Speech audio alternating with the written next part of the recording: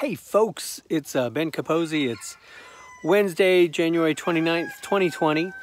And uh, I just wanted to take a few moments to show you around uh, the new area that I've moved um, our three main flocks into.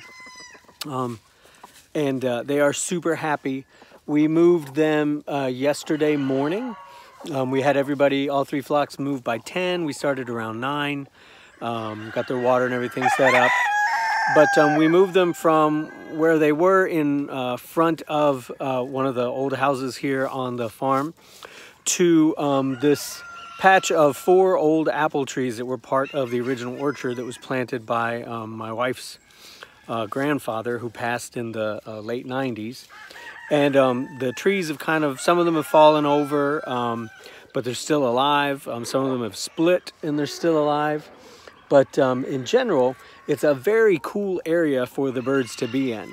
Um, I always thought of it as like a playground for them, and I've been really happy to see that I feel like that's how they like it too.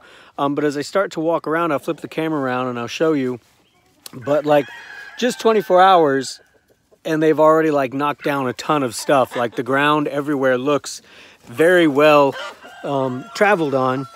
I uh, right now I'm kind of propped or I'm hunched underneath one of the fallen trees. So uh, let me flip the camera around and um, we'll do a little bit of an orientation and I'll show you what's what. So here I am underneath one of the uh, apple trees. It's got a lot of dead stuff in it. I mean, I was in here just plucking stuff off quite easily.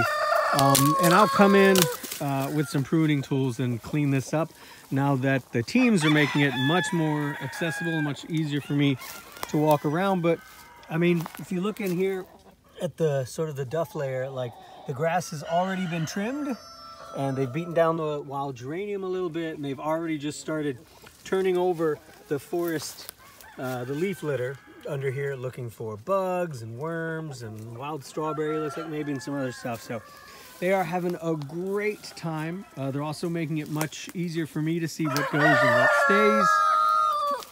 This looks like maybe a volunteer pecan. I'm not quite sure. Um, there's a couple uh, privet bushes in here that I will probably take out. Um, there's a, a, honey locust in here, a native honey locust, certainly not a domesticated thornless one. I'll probably take that out.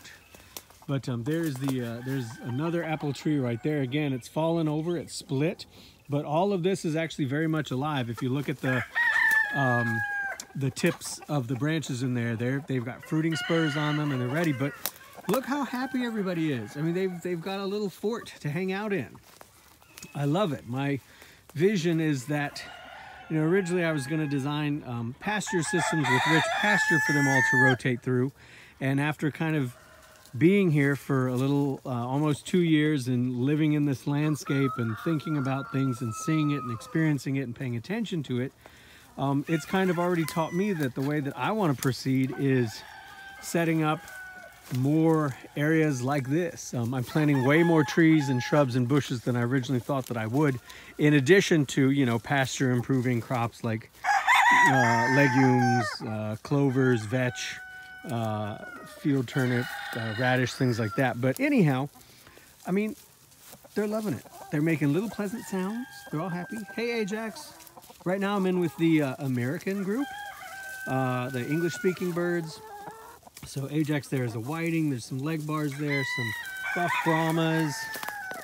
Everything is enclosed inside of Premier One electric fencing. Hey Java, my best boy. He's the best one. Hey guy, how you doing?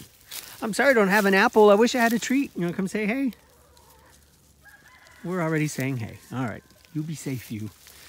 Um, Little speckled Sussex, Chanteclers, Jersey Giant Blacks, or Black Jersey Giants. But um, it's also nice to have them start to clear all this out and I can see where uh, I'm probably going to put some small oak trees, some hazelnut trees in here. Um, there's already a bunch of uh, wild farm raspberry that has taken over all of this area and actually having the kids run through it has cleared it out. Uh, last year, the Americans were on this side and no one had ever been in here. I put the American flock in here because they're our heaviest birds in general. Um, they do a, uh, a really good job of just knocking stuff down. They're our heaviest chickens. Now, of course, our geese are truly our heaviest birds. Uh, I don't think they would be well suited in an area like this. Um, it's just a little too prickly. But in terms of just an open field, if you need them to knock stuff down, absolutely. Look at all these little characters. Hi, ladies. Hey, dude, don't be rude. It uh, reminds me of that famous photo of um, all those uh, uh, construction workers in that black and white photo hanging out on a, a girder on an I-beam above the New York City skyline. These ladies are just chilling out, preening their feathers. Uh, they've got dust baths in here that have traveled with them. And you can see the crazy weather here. This raspberry is already starting to leaf out.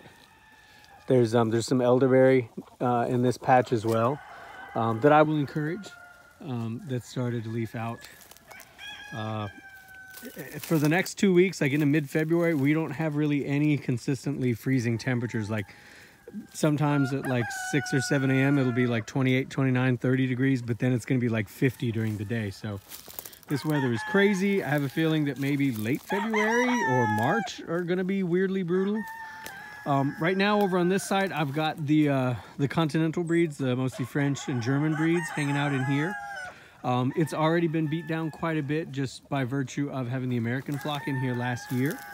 Um, it probably needs a little bit of a longer resting period, but I had to get the birds out of where they were.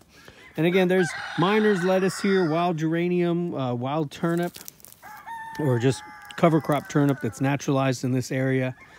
Um, I need to clean up this tree a bit, but again, this even though this this tree it only exists as a fallen tree. There's the main root, and it's just there is no more tree up there.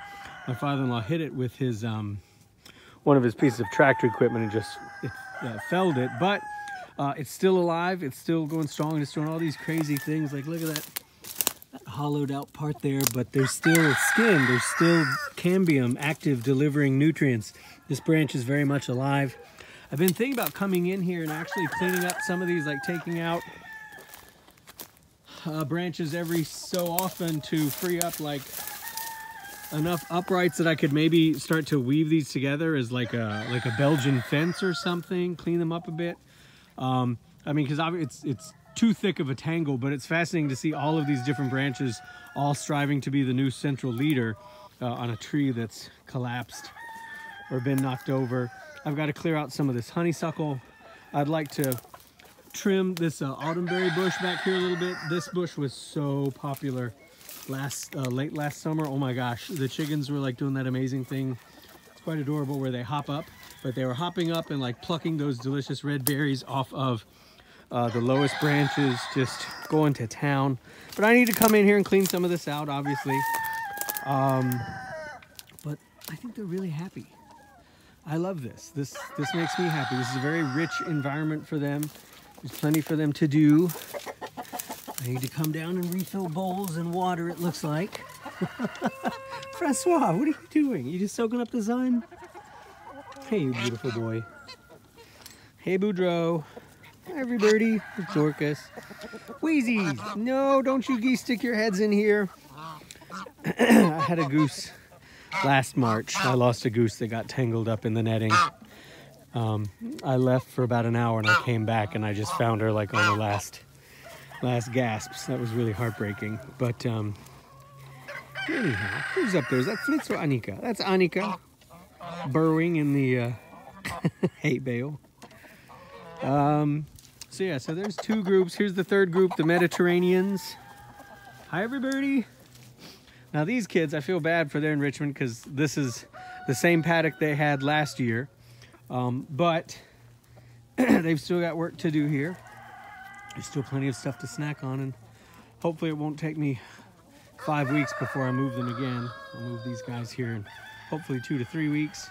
Some of the girls are staying in the house, get a nice little sauna. Hi, George Patton. How you doing? What do you think? Life is good?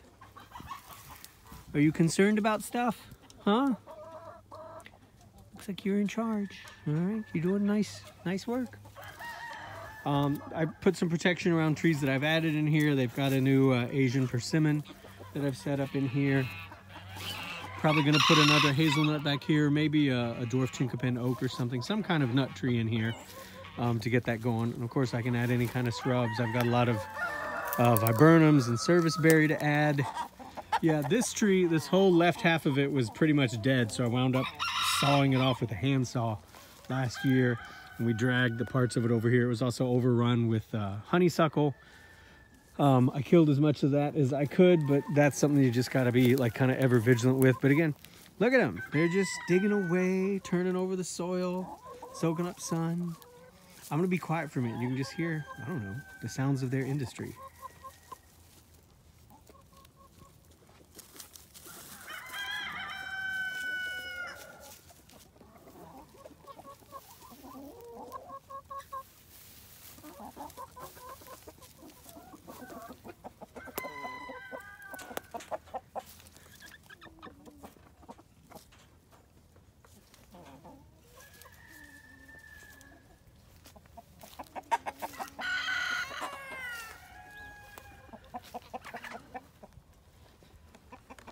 All right, so it's a beautiful, beautiful January day. February's right around the corner.